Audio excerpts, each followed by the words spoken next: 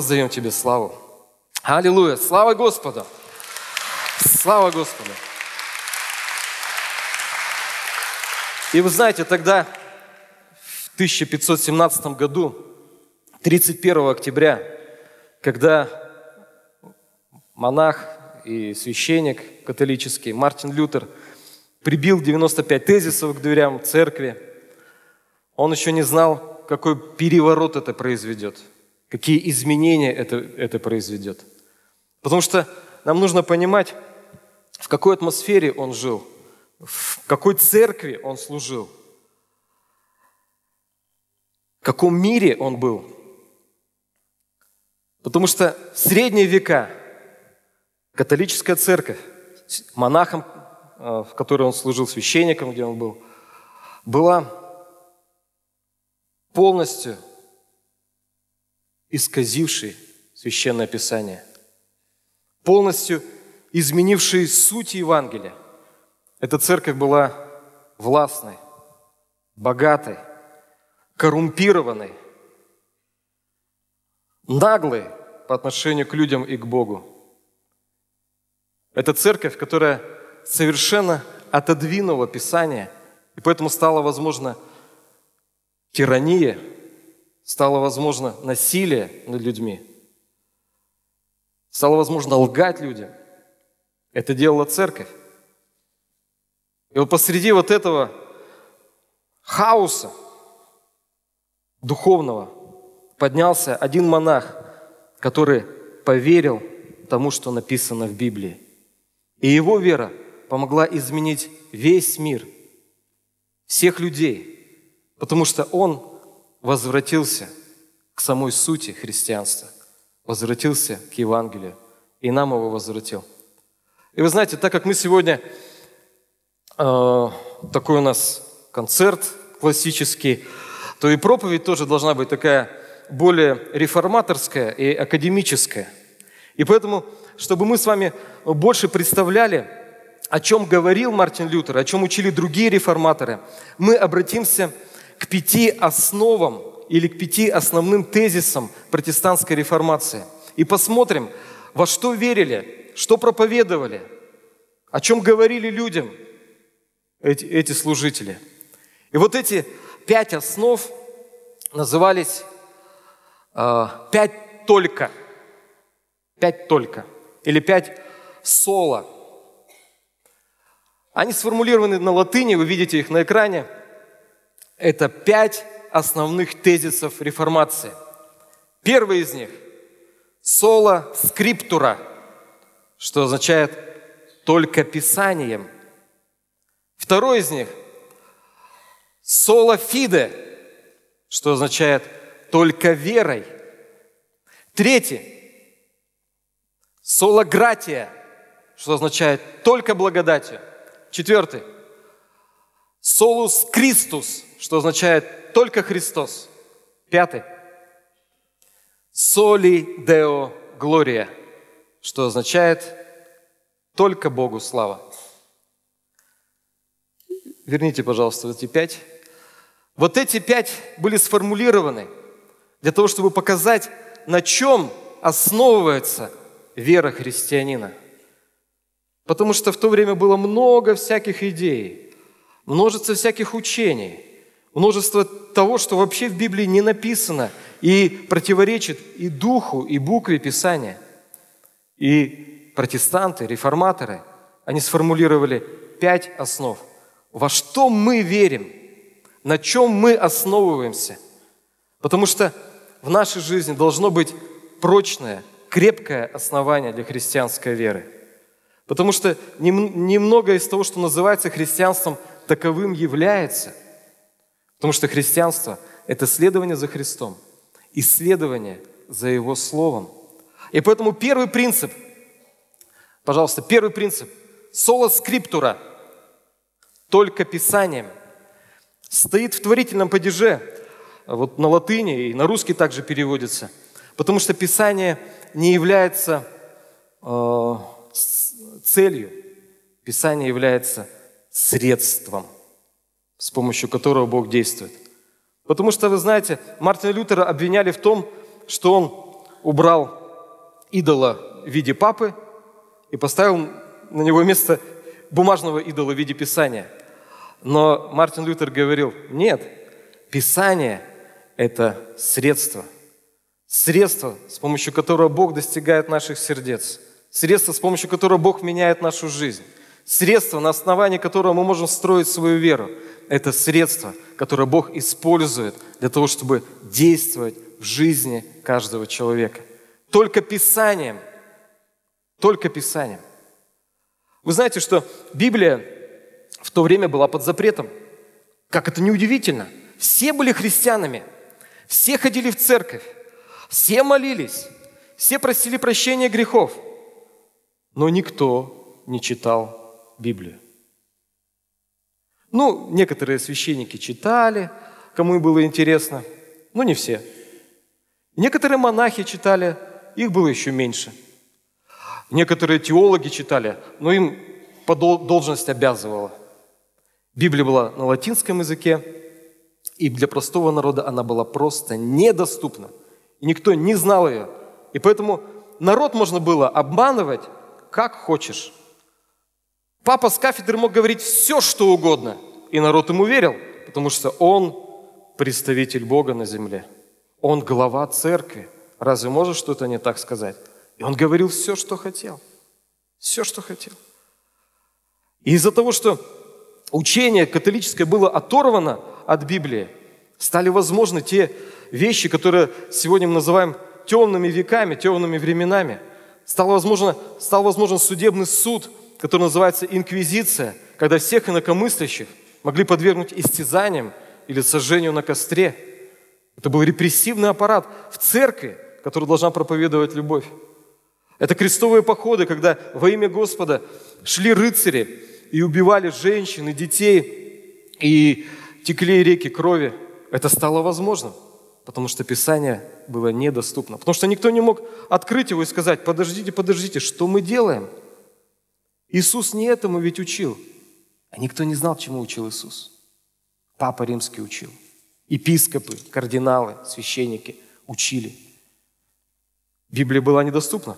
Вот, например, папская була. Вы знаете, что Библия даже попала в список запрещенных книг. Был такой список, где нельзя было читать книги, еретические всякие. И Библия тоже туда попала. И вот что папа, например, пишет.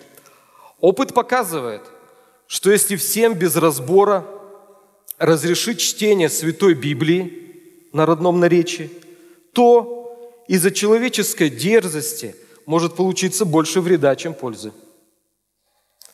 Кто читает или даже просто имеет в своем распоряжении такой перевод, тому не отпускать грехи, пока он не сдаст свою Библию. То есть нельзя ни в коем случае иметь. И если бы ты пришел в какой-нибудь храм тогда, в 16 веке, в католический, и сказал, а можно мне почитать Библию? Тебя бы посмотрели, как на странного человека. Сказали, зачем тебе? Ну, хочу узнать, что Бог говорит.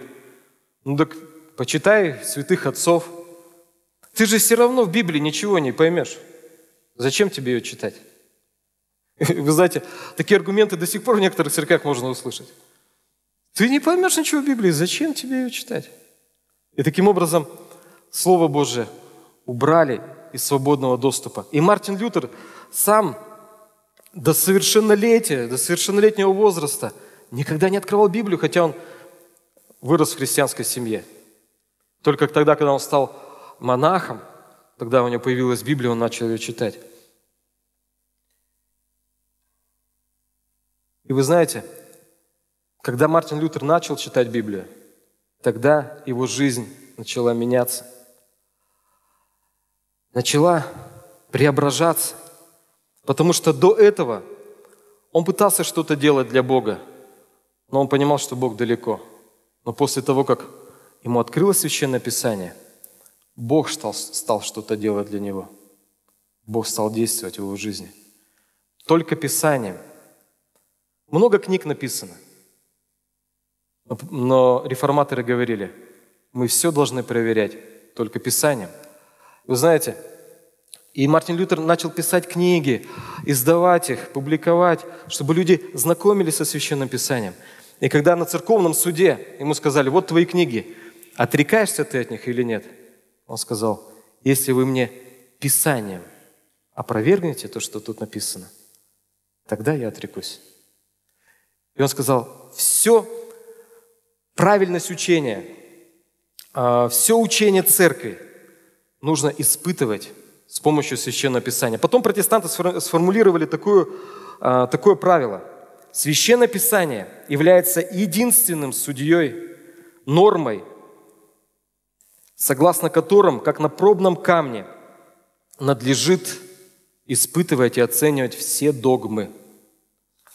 Только Писанием можем оценивать. Поэтому сегодня, вы знаете, мир в мире происходят те же вещи, что и раньше. И сегодня появляются разные заблуждения. И в таких даже церквах, как, как наша. Разные даже лжеучения появляются. И если люди не наставлены на Священном Писании, они легко этому верят. И никто не может открыть и сказать, подождите, подождите, тут же написано не, не это, тут же написано не так. Вы знаете, когда я Э, был еще неверующим, я начал читать Новый Завет. Мне интересно было с ним познакомиться. Начал читать Новый Завет и смотрю, а я был крещен в церкви, смотрю, тут все не так, как в той церкви, где я был крещен. Почему? У меня возник вопрос. Почему все не так? И у Мартина Лютера тоже этот вопрос возник. Он был верным сыном католической церкви. Начал читать, все не так. И чем больше он читал, тем он понимал, насколько церковь отошла от священного писания. Насколько она исказила учение Христа. И это побудило его впоследствии действовать. Вы знаете, э, сегодня у нас идут библейские курсы э, в этом году, и много вопросов возникает у студентов, они постигают Священное Писание, и тех вопросов, каких у них никогда не возникало. И вот мы с ними общаемся, и они говорят, а вот мы слышали вот такую идею, или вот такую идею. Вот кто-то что-то говорил. Я им говорю, а хорошая идея, логичная и кажется правильная, но основана ли она на Священном Писании? Дайте основания. Дайте основания.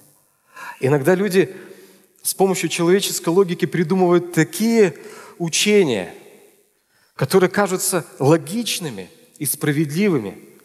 Но откроешь Писание, тут сказано иначе, сказано по-другому. Писание является единственным мерилом, с помощью которого мы можем отличать истину от лжи. И я благодарен Богу, что Он нам дал твердое основание. Твердое основание. Ты знаешь, когда Иисус стоял на суде у Понтия Пилата, Иисус сказал, кто от истины, тот следует за мной.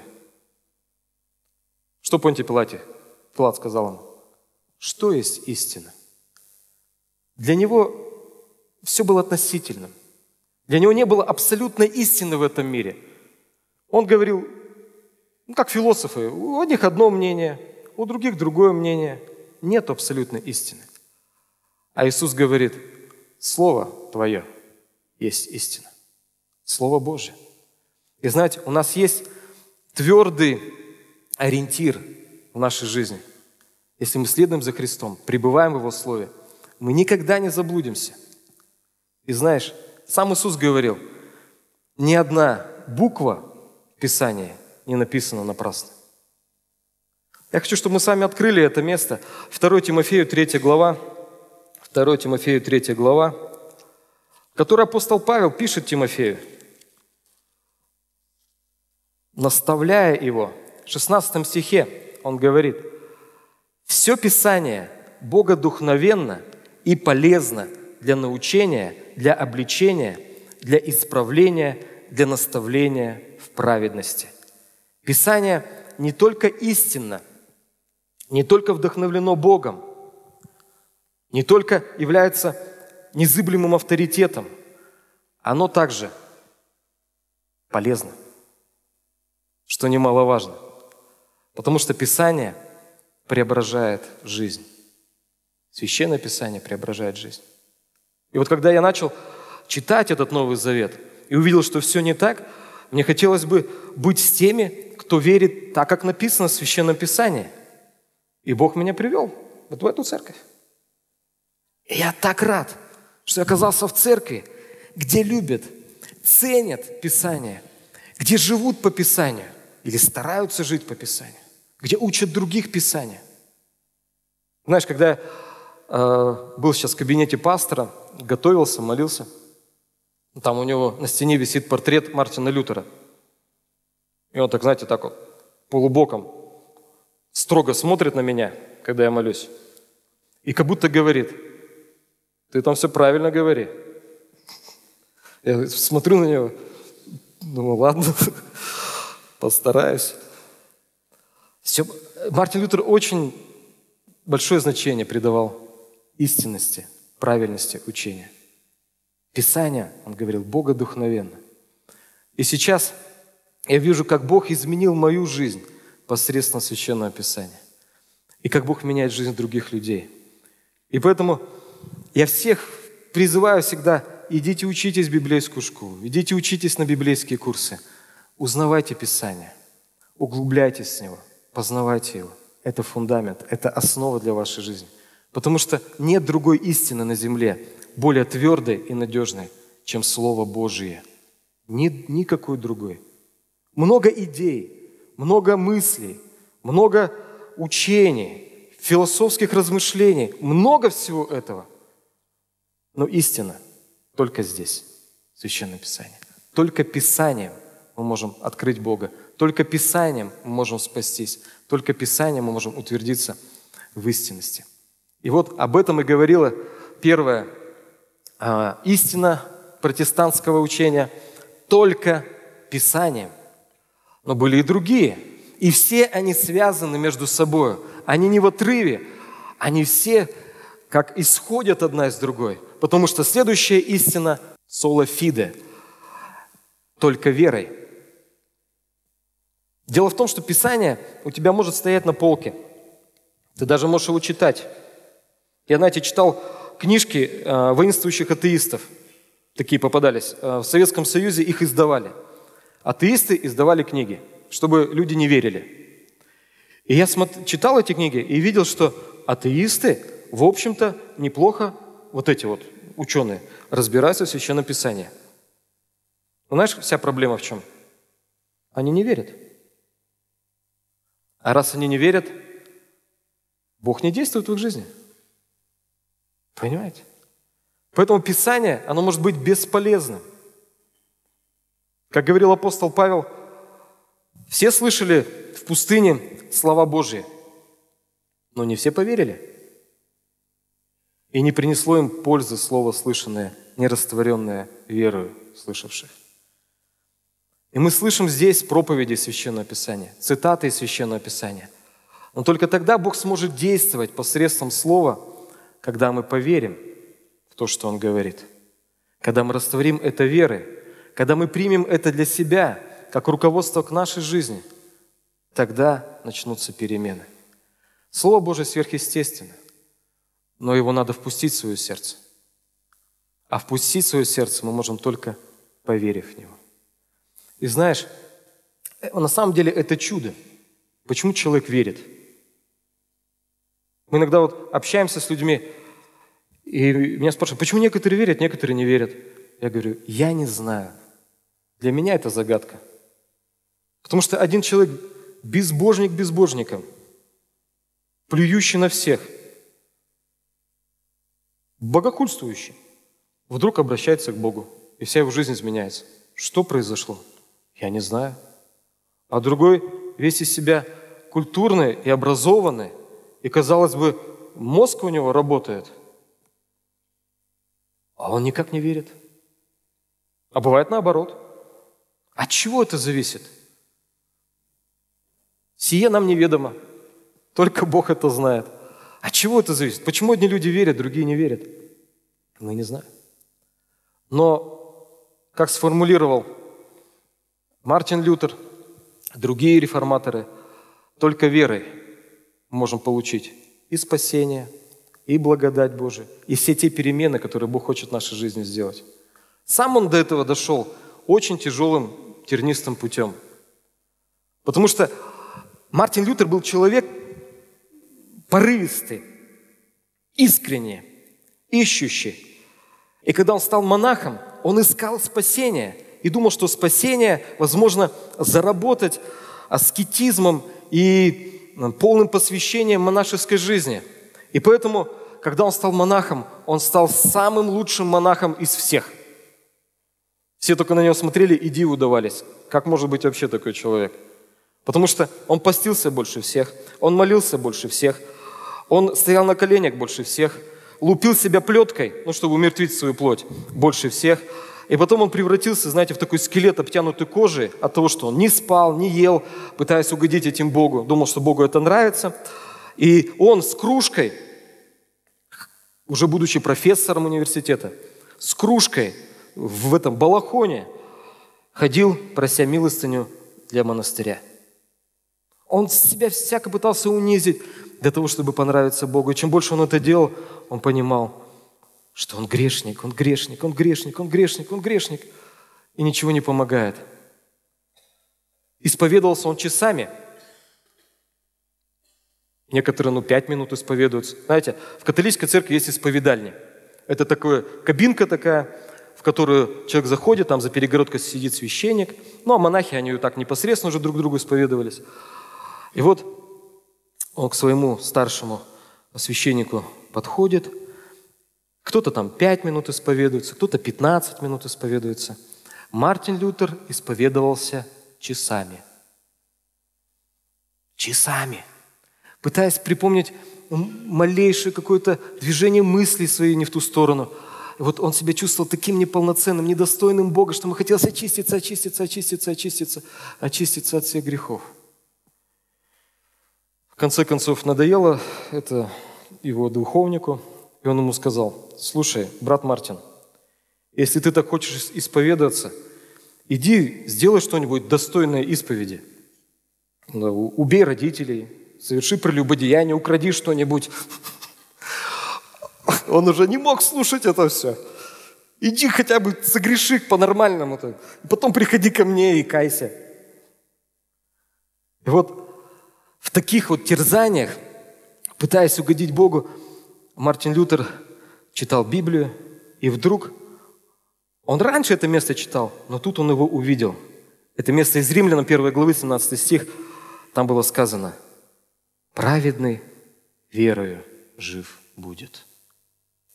Раньше он пропускал это мимо ушей, а теперь он вдруг увидел, и он говорит, как будто этот стих со страниц Священного Писания – прямо в сердце мне вошел. То он откровение получил. То есть он вдруг понял, что все, что он делал, все его старания Богу не нужны. А нужна только вера. Только вера. И все. Этого достаточно для того, чтобы получить от Бога благодать, для того, чтобы получить от Бога спасение. Достаточно только поверить в Его Слово, и Бог будет действовать в его жизни. И он говорит, в этот момент, как будто бы врата рая передо мной открылись, и я услышал пение ангелов. Он пережил то, к чему он стремился. Он встретился с Богом, поверив в Священное Писание и поняв только верой. Как он раньше этого не видел, некому ему было растолковать. Бог ему растолковал в конце концов. Потому что сам Иисус говорил – людям, которые получали от него что-то по вере, он говорил, вера твоя спасла тебя. Вера твоя спасла тебя. Наша вера позволяет нам от Бога принять что-то. Бог дает. Он протягивает нам свои дары, но мы должны протянуть руку веры и принять у Него. И Бог рядом с каждым человеком – с многочисленными своими благословениями, с многочисленными своими дарами. Не только дар спасения. Но Иисус говорит, если имеешь веру, получишь. Если имеешь веру, получишь. Веруй хотя бы немножко, хотя бы с горчичное зерно, и Бог будет действовать в твоей жизни. Это учение Иисуса. И вот реформаторы дошли до этого только верой мы получаем от Бога. Никакими делами, никакими усилиями, что бы ни было в твоей жизни. Как бы ты ни пытался достичь Бога, невозможно. Только верой. А Римлянам 3 глава. Римлянам 3 глава.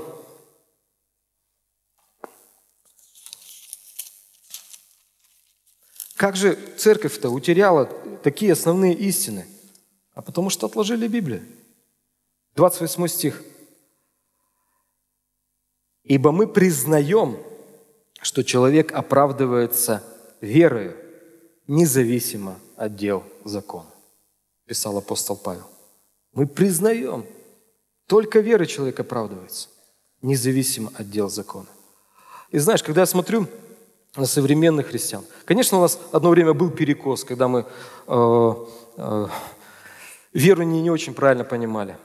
Но, но вот сейчас я хочу сказать, когда вот смотришь на современных христиан, и хочется спросить, ты вообще веришь в Бога или нет? Ты веришь Бога или нет? Ты знаешь, когда Мартин Лютер, у него уже говорил, э, говорилось сегодня то, что он впадал в депрессию, бывало, и вот у него была депрессия, он лежал в депрессии на своей кроватке, и заходит к нему его жена, вся в трауре. Мартин говорит, что случилось, Катарина? Кто-то умер. Из наших родных? Нет. Из наших знакомых? Нет. Кто умер? Она в трауре. Она говорит, Бог умер. А что ты говоришь, Катарина? Бог не может умереть. Он вечно сущий. Она говорит, ты себя ведешь так, как будто Бог умер. И он понял. И он встал, укрепился и поднялся. И вот сегодня кто-то пребывает в таком разочаровании, как будто Бог умер. Кто-то пребывает в такой депрессии, как будто Бога нет. Кто-то настолько обижен и разочарован в людях, как будто не Бог наш источник, а люди. Только верой мы получаем от Бога. Только верой. Не надейся на людей. Некоторые надеются, то, что чья-то особая молитва произведет изменения в его жизни. Чья-то особая молитва. Вот приезжает какой-то проповедник, думает, вот если он мне скажет какие-то слова, если он возложит на меня свои святые руки, если он произнесет свою святую молитву, он же близко к Богу, тогда Бог начнет действовать в моей жизни. Богу важна не вера этого проповедника, а твоя лично. Бог может без него действовать в твоей жизни совершенно точно так же. Чья у тебя вера? Проповедника или лидера? Или какого-то сильного брата или сестры в церкви? Чья? Я когда разговариваю со своими детьми, я говорю, я понимаю, что вы, пока дети, живете нашей верой, но у вас должна быть своя вера – свои личные отношения с Богом, свое личное познание Священного Писания. Для чего вера нам нужна? Чтобы вот это слово сделать живым и актуальным в нашей жизни, чтобы Бог мог действовать через него в нашей жизни и давать нам все, что Он желает дать, изменять нашу жизнь так, как Он желает ее изменить. Для этого нужно верить, верить Его Слово. Только верой мы получаем что-то от Бога. Только верой. И с этим связан Третий э, пункт – соло гратия, только благодатью. А я же говорил, эти пункты все связаны друг с другом. Только благодатью. Дело в том, что вера – это дар от Бога. Самое интересное, что мы даже не можем начать верить без того, чтобы Он нам не дал эту способность. Не можем даже поверить. А Мартин Лютер и другие реформаторы учили о том, что мы даже захотеть не можем прийти к Богу, если Он нам не даст благодать. Даже захотеть не можем. Вот были мы грешниками, не искали Бога, а вдруг появляется такое чувство, Нужны перемены в жизни. Должно что-то произойти. Я вам скажу, когда я жил там, в 80-е, в начале 90-х годов, у меня внутри было чувство, что моя жизнь должна измениться кардинальным образом. Я не знал как. Я не знал, что приду в церковь, стану верующим. Но я чувствовал внутри себя, моя жизнь должна измениться. И когда я слушал слова э, «Машины времени», группа пела песню такую, и там были такие слова, «А с нами ничего не происходит, и вряд ли что-нибудь произойдет», я думал, обманчивое у меня чувство. Я себя считал кем-то из немногих, как он пел. И думал, что вот-вот что-то изменится – а ничего не происходит. И вот думал, вот если у меня чувство, что-то должно перемениться, но ничто не меняется. Думал, обманчивое чувство, обманчивое. Но когда я встретился с Иисусом на одном из таких собраний, встретился с Богом, как когда-то Мартин Лютер встретился в своей келье монашеской, кто-то из вас встретился где-то в своем месте, в своем доме или на собрании в церкви. Вот я также на собрании сидел где-то там на заднем ряду, и я встретился с Иисусом. И я понял, произошло. То ощущение, которое было во мне, что-то должно произойти. Вот оно, случилось. Я встретился с Богом. Это самая главная встреча в моей жизни, которая перевернула меня, перевернула всю мою жизнь. Самая главная встреча. Я понимаю теперь, что само желание что-то изменить, само желание жить иначе – было не моим. Бог мне дал это желание. Бог вложил в меня это желание. Это действовала Божья благодать, которая привела меня к спасению. Действовала Божья благодать. Только благодатью можем быть спасены. Грешник, он не очнется от греха, вдруг, вдруг поняв, а что-то я грешник, стану-ка я праведником. Не, не захочет, если Бог прежде его не позовет, не позовет к себе, не заставит искать не побудит искать. В книге, в послании Иакова, хочу прочитать вам первую главу, 18 стих. «Восхотев, родил Он нас словом истины, чтобы нам быть некоторым начатком Его создания». Кто захотел? Бог. И написано, Он родил нас. Если себя сравнивать со младенцем – то мы поймем, что младенец не хочет рождаться. Он ничего не хочет, потому что он младенец. У него нет этого понимания, у него нет этого желания. Это желание есть у родителей.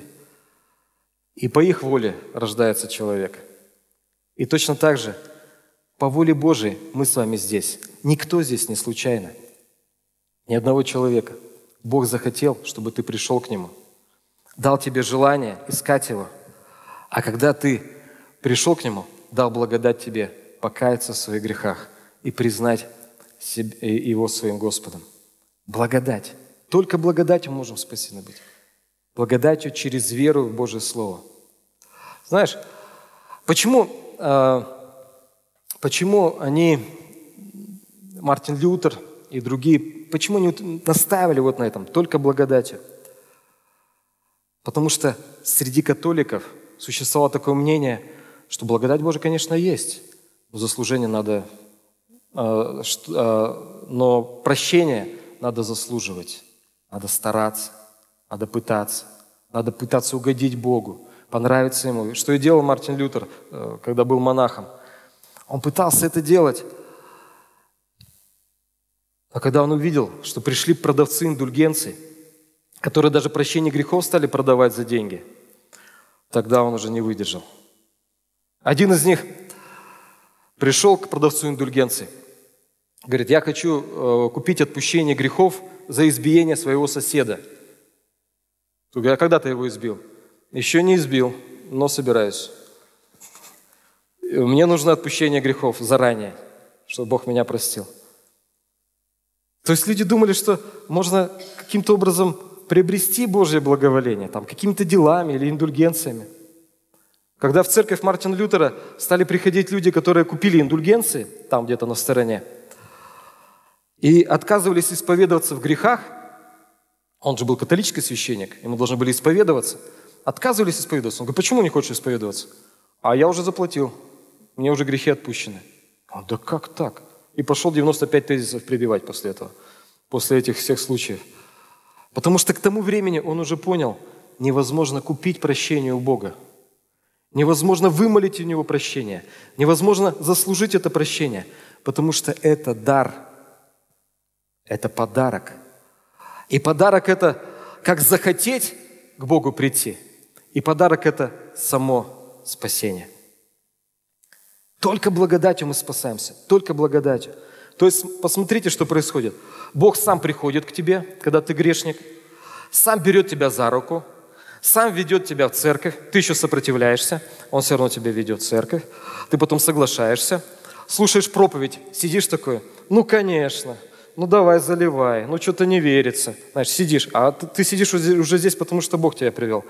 Сидишь, сидишь, потом вдруг что-то касается тебя, а коснулось.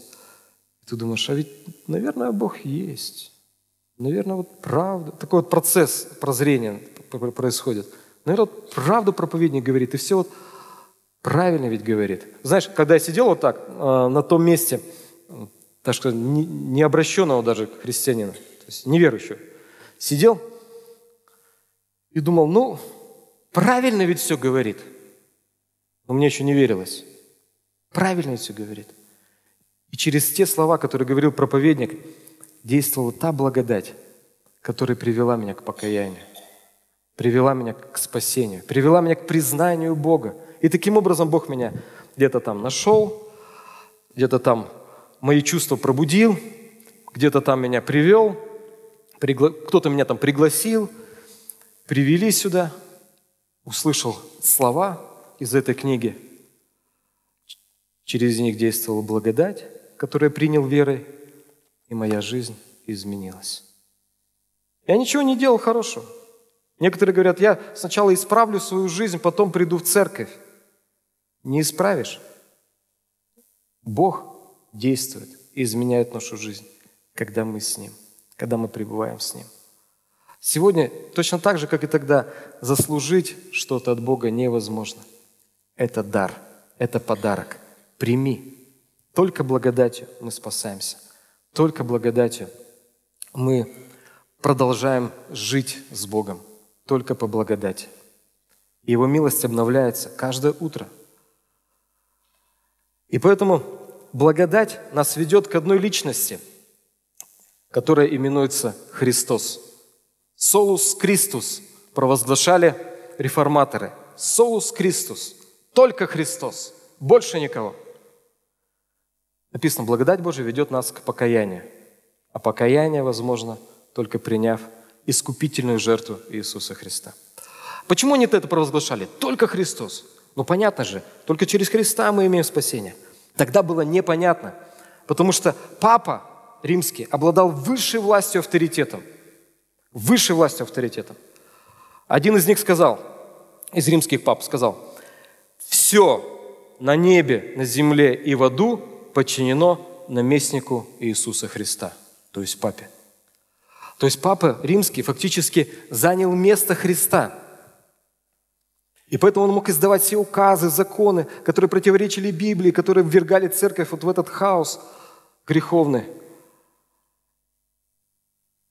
И когда Мартин Лютер смотрел на это, Ян Гус, когда смотрел на это, до Мартина Лютера, говорил, нет, не папа глава церкви, только Христос – глава церкви. Церковь в то время сделалась посредником.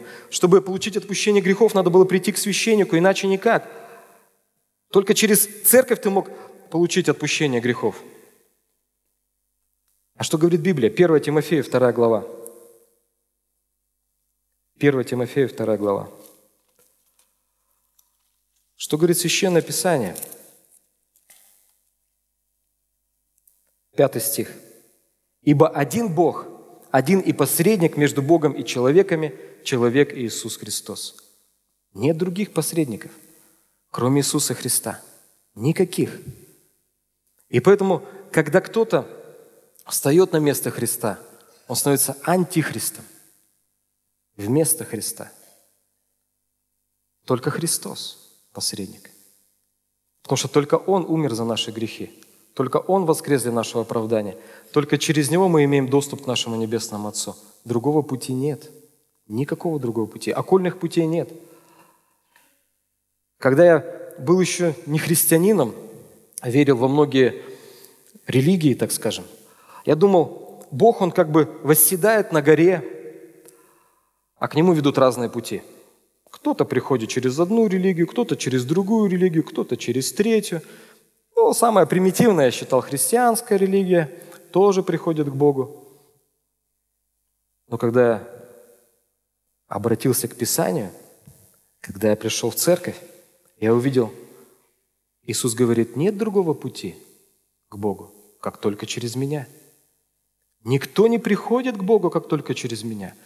Только я дверь, и кто войдет мною, тот спасется. Кто не будет пить моей крови, есть моей плоти, не имеет участия в Царстве Небесном. Он говорил это многократно. Нету другого пути. Если Сын освободит вас, будете свободными. Если нет, не будете свободными. Только Христос. Только Христос. Больше никто. Знаете, один проповедник сказал, не верьте никому, даже наисвятейшему святому, который только ступал по земле. Не обращайте на него внимания, если он собой заслоняет вам Иисуса Христа. Не верьте никому, если он становится на место Иисуса Христа. Вы знаешь, в христианском мире всегда возникают какие-то учителя или лидеры христианские, апостолы, там, как они себя только не называют, которые дают какое-то свое учение. И людей призывают следовать за ними. И знаешь, когда люди начинают превозносить такого лидера, такого человека, он тем самым заменяет место главного пастыря Иисуса. Он становится их пастырем. Он становится их Христом и Мессией. И когда они следуют за Ним, они уже следуют не за Христом. И знаешь, что говорил Иисус? Когда слепой ведет слепого, оба упадут в яму. И так бывает, что вот эти лидеры, основываясь, может быть, поначалу даже на христианском учении, на Священном Писании, вдруг потихонечку начинают отходить от этого Писания, проповедуя свои какие-то откровения, оторванные от Слова Божьего. И люди, которые им доверяют больше, чем Богу, они в них видят своих кумиров, своих лидеров, они слепо следуют за ними, идут за ними, в те заблуждения, в которые они их ведут. И потом мы видим такие грандиозные падения, разоблачения. И люди, которые оказываются у разбитого корыта, там в одном месте из церкви сделали бизнес-сообщество, в другом там еретическое учение какое-то возникло. И люди потом, когда все это вскрывается, вдруг смотрят друг на друга и говорят, а как мы тут оказались? Как мы, как мы тут оказались? А мы доверяли нашему лидеру. Знаешь, я всегда говорю в своей церкви, вот зачем прошу вас Библию носить на служение? Я говорю своим прихожанам, чтобы вы проверяли все. А вдруг я вам, вас неправильно учу? Вот читайте, проверяйте. Я не против, когда со мной спорят, когда ко мне приходят и говорят, а вот мы что-то тут с тобой не согласны. Хорошо, давай посмотрим по Священному Писанию. Но, конечно, вы можете сказать, ты-то более опытный, там как-нибудь исхитришься что-нибудь, там их обманешь. Но я совесть имею, знаешь. И Священное Писание я очень люблю. И поэтому мне можно доверять, я им говорю, но все равно доверяй, но проверяй. Правильно ведь?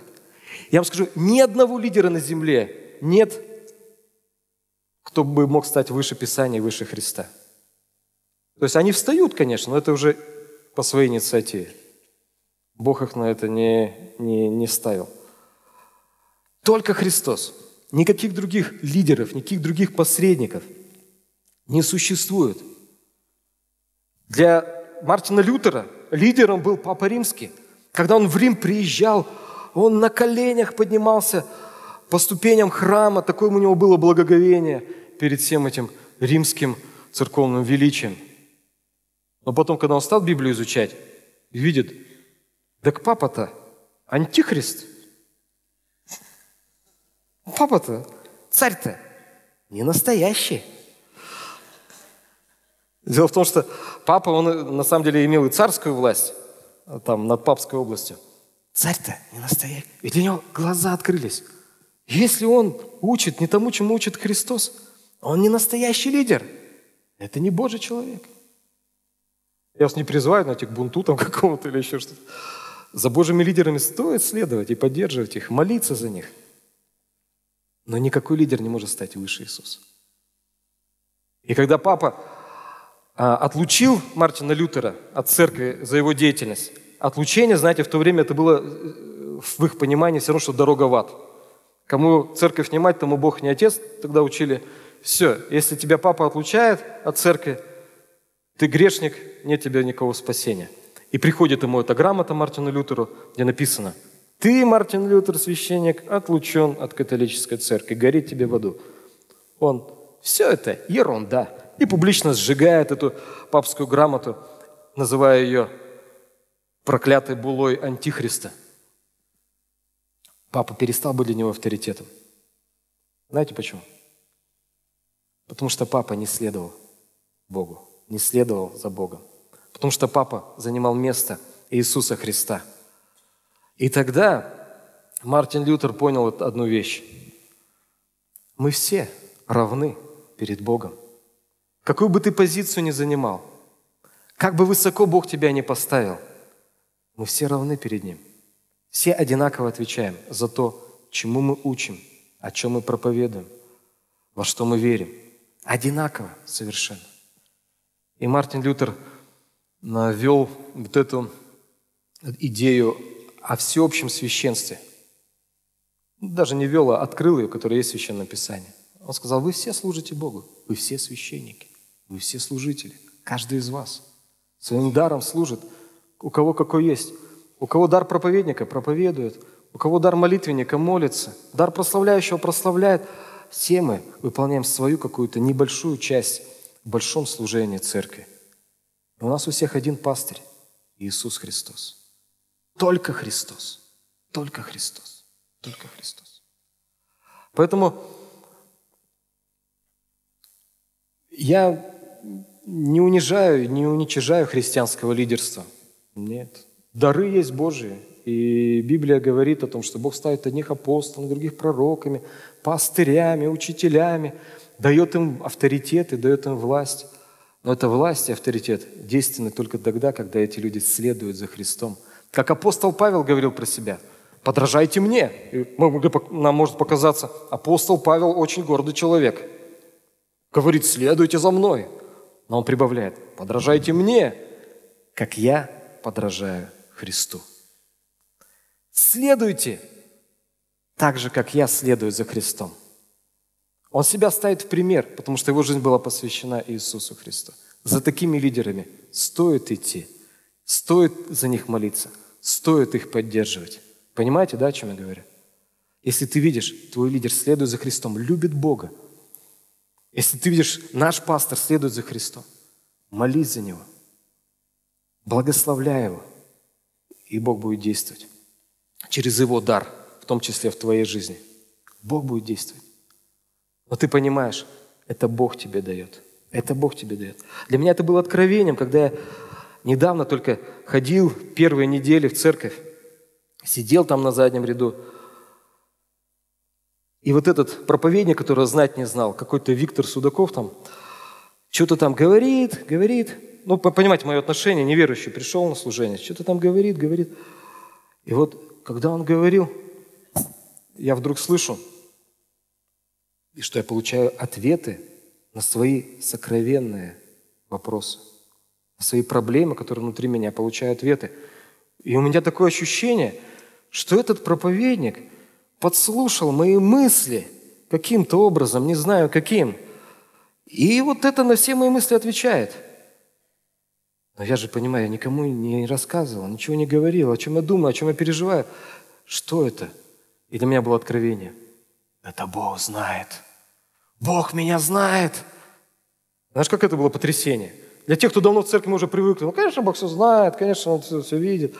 А для меня тогда это было, Бог меня знает, о чем я думаю, знает и отвечает мне.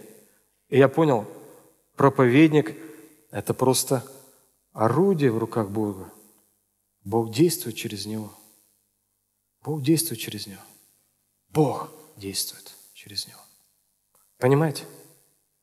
Это очень важно, потому что в нашем мире христианское лидерство во многом себя дискредитировало. Очень важно видеть настоящих лидеров, поддерживать настоящих лидеров, молиться за настоящих лидеров. Вот таким лидером был в свое время Мартин Лютер. Мартин Лютер, который и сформулировал вот эти вот понятия. Только Христос.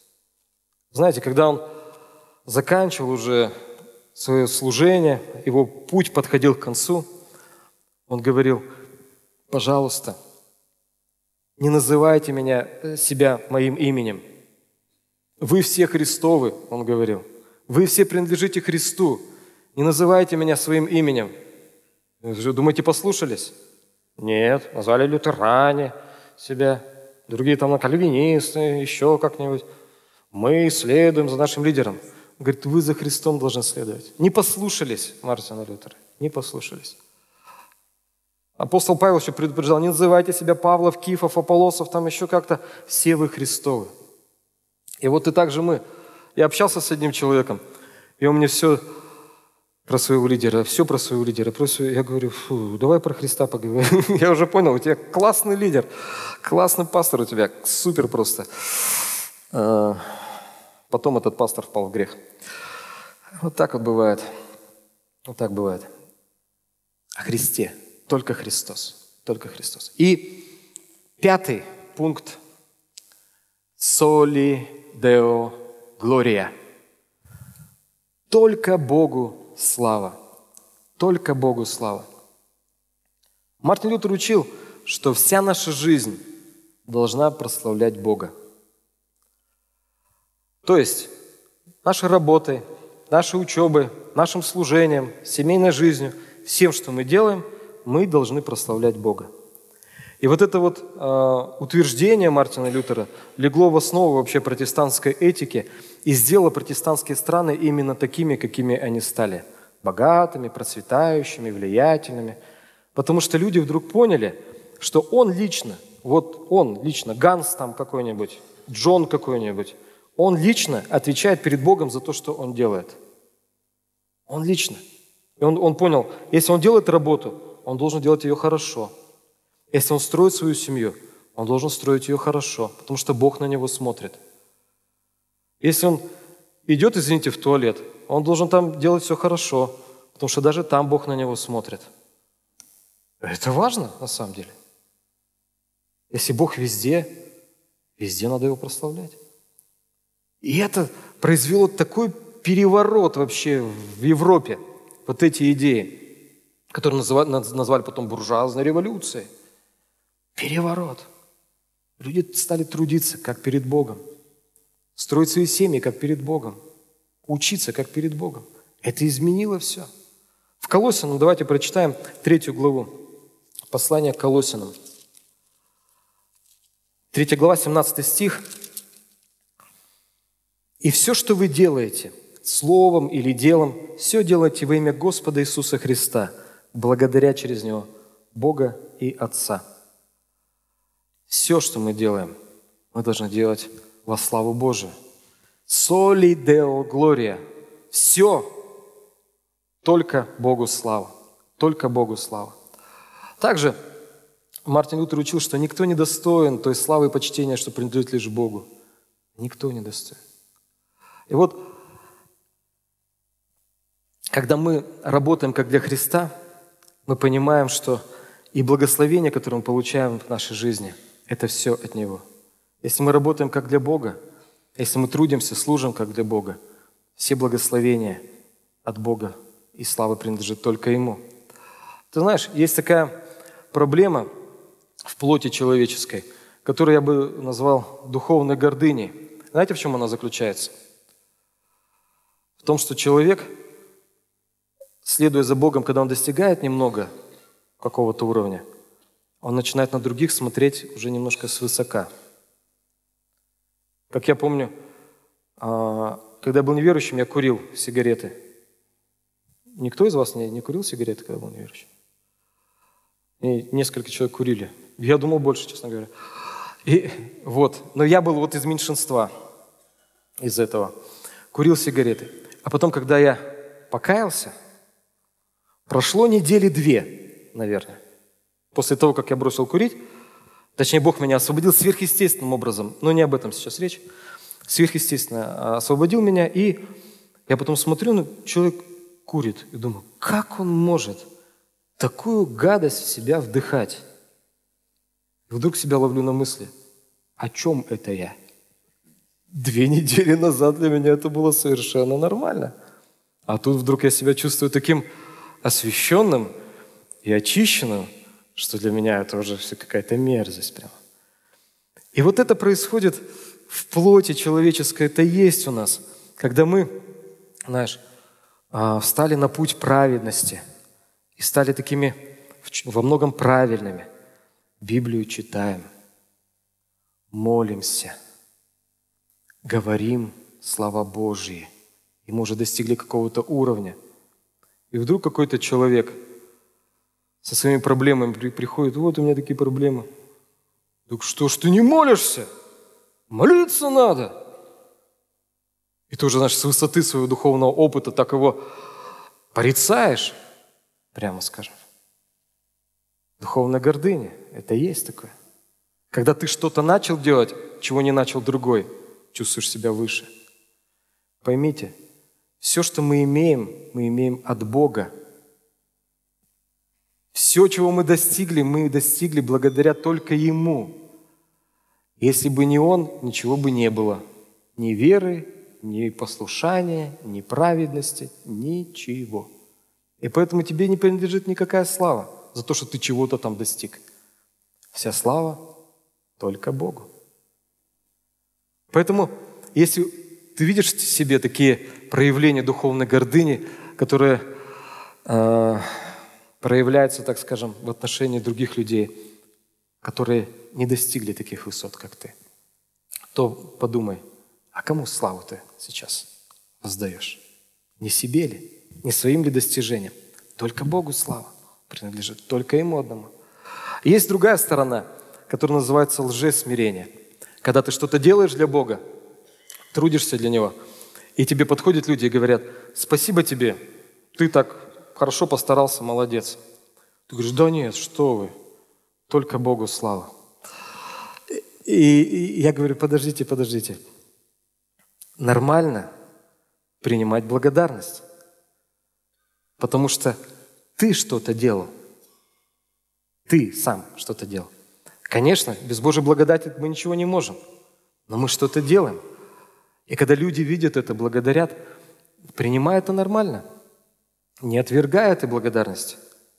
Когда наши люди меня благодарят за что-то, что, э, что я делал, я им говорю спасибо, спасибо.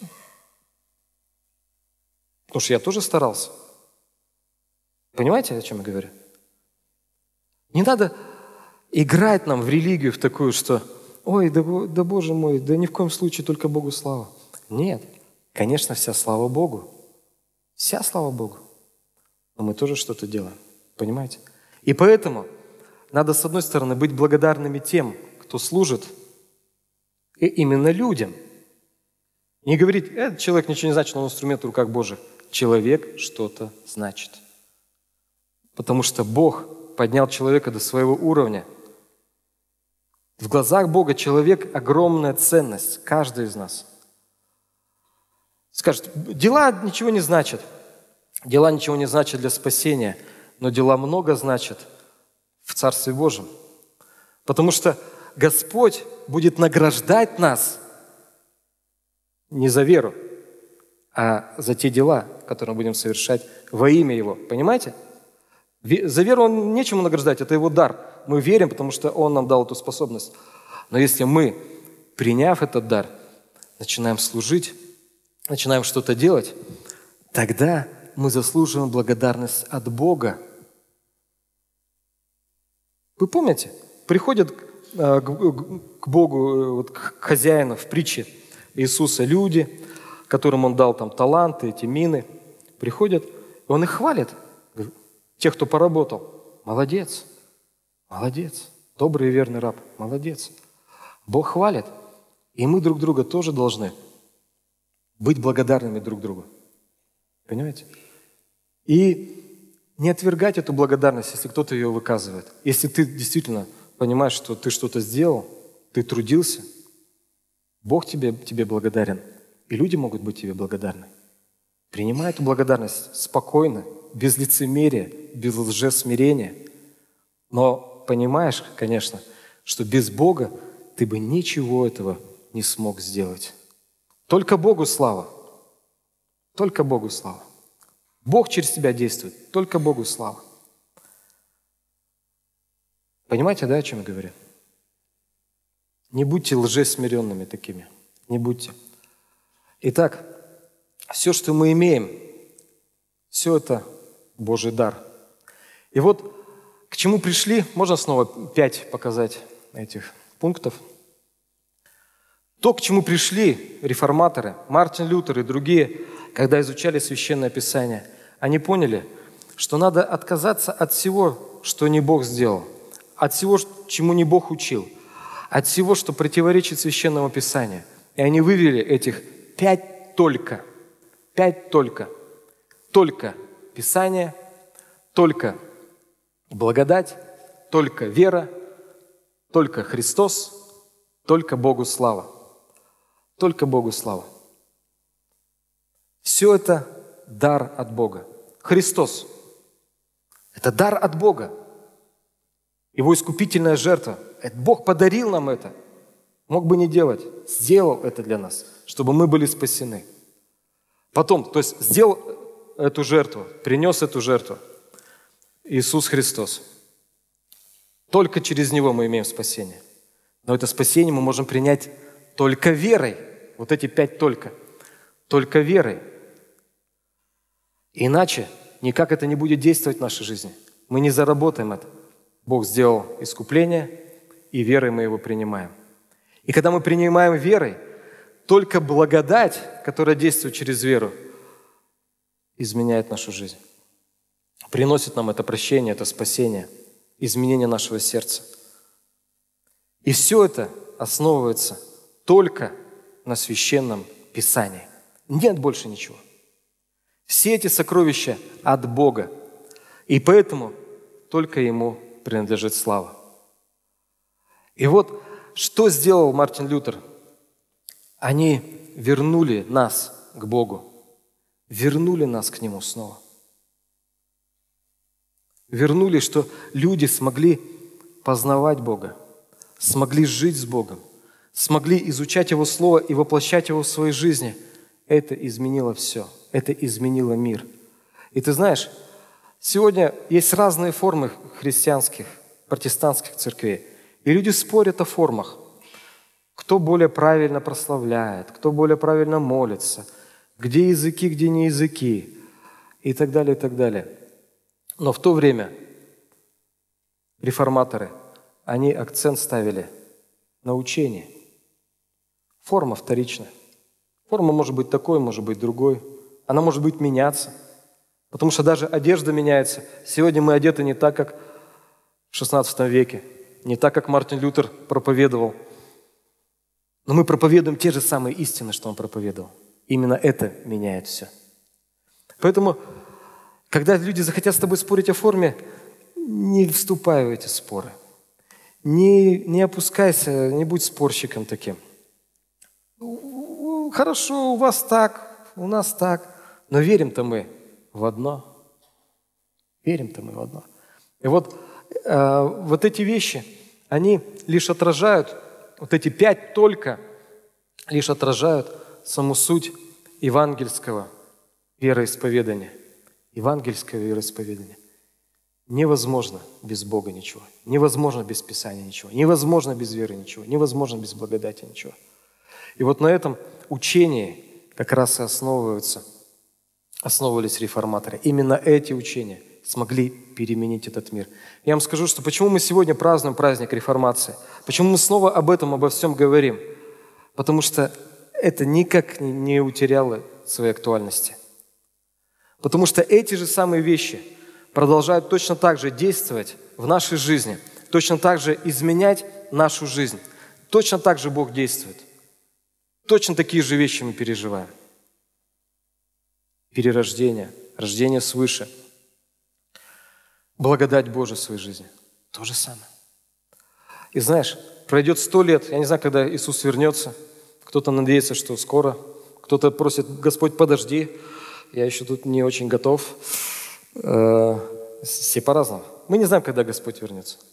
Но я вам скажу, что если через сто лет Он вернется, через 200 лет вернется, то вот эти вещи, они будут оставаться точно так же актуальными. И когда церковь начнет об этом забывать, она начнет какие-то другие приоритеты выставлять вперед, какие-то другие менее значимые вещи в учении. Когда церковь будет забывать об этом, она забудет об основе своей веры, об основе своего вероисповедания. Поэтому каждый год мы снова вспоминаем о том, что было тогда, много лет назад. Тогда, в 1517 году, началась та самая реформация. Хочу молиться вместе с нами, вместе с вами. Прошу просто сейчас склоните головы. Склоните головы.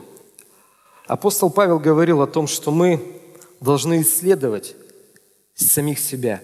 Верили мы? Испытывать себя. Я хочу, чтобы мы сейчас смотрели в свое сердце, когда мы будем молиться.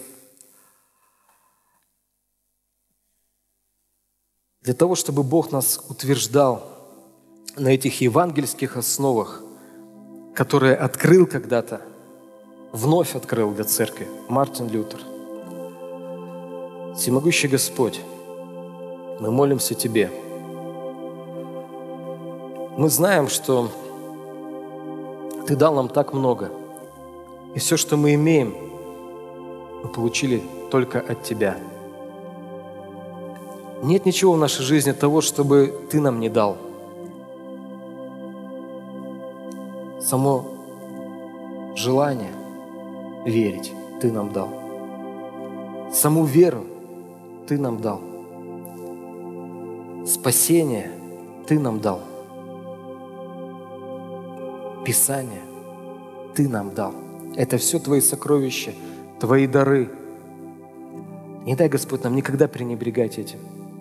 Пускай никакой ветер учения не унесет нас от этого твердого основания. Пускай наш дом будет построен на камне Твоего Слова – и никакое новое, в кавычках, учение, никакие новые откровения, пускай нас не, не заставят сойти с этого пути, по которому Ты нас ведешь, Господь. И мы видим, Боже, какие изменения Ты произвел тогда в том мире, религиозном, далеком от Тебя мире – и мы знаем, что Ты тот же самый и сегодня. Ты тот же самый и сегодня.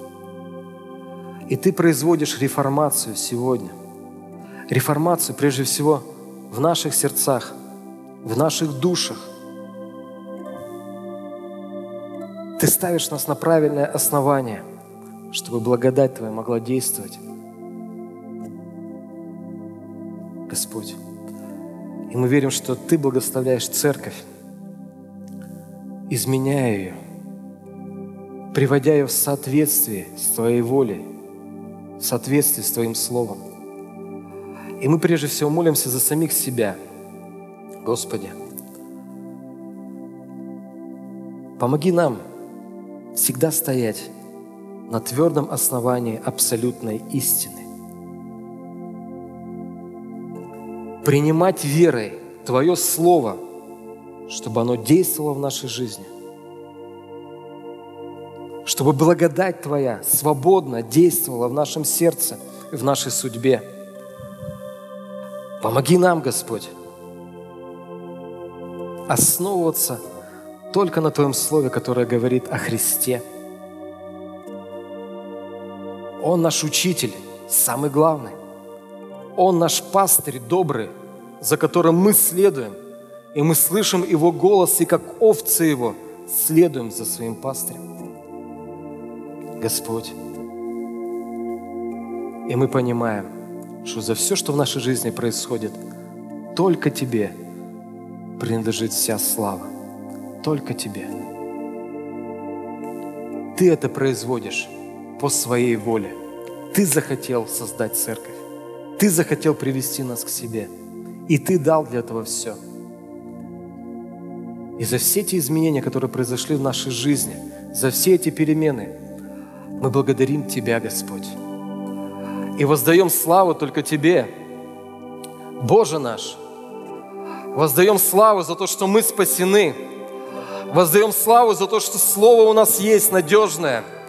Воздаем славу, что мы в Церкви Божией, которую Ты создаешь. Воздаем славу Тебе, Господь.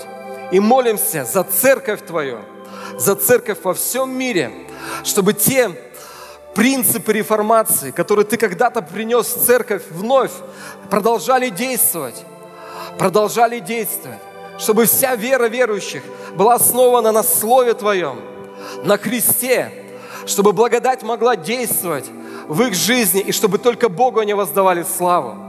Пускай по всей земле Твое Слово проповедуется, Евангелие Царствия. Люди спасаются, обращаясь к Тебе. И церковь преподает им ту истину, которую Ты дал, учит их Твоим словам.